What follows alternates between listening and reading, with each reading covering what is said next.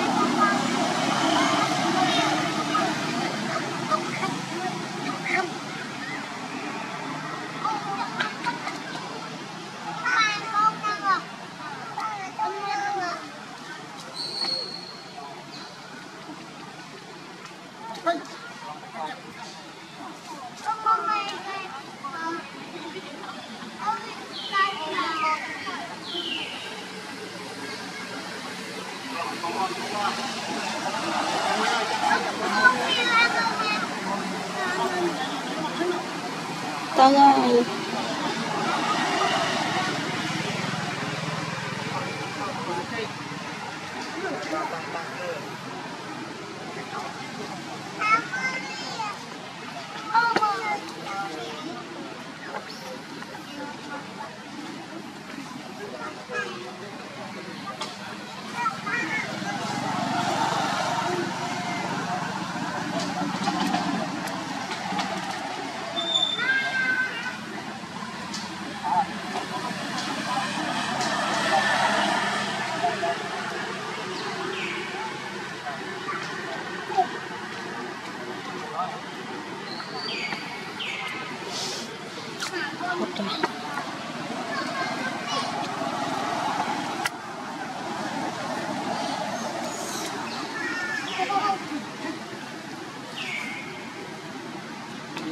vou voltar.